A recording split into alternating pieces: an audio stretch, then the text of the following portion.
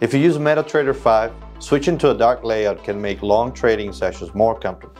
Here's how to do it step by step. At the top of your MT5 platform, click on the View tab.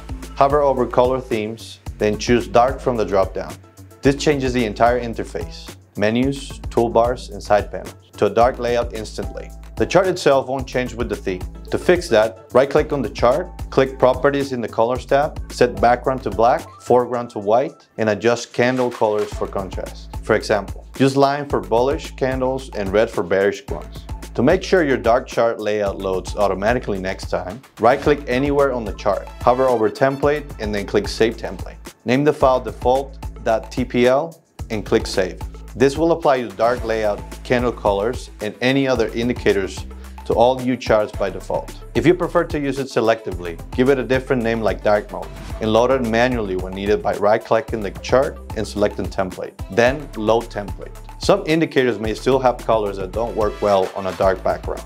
You'll need to edit those manually through the indicator settings. Import the BlackBull Markets calendar to your email to receive alerts about upcoming economic events in your inbox, enabling you to plan your positions in advance and seize trading opportunities. Follow the link in the description to get started.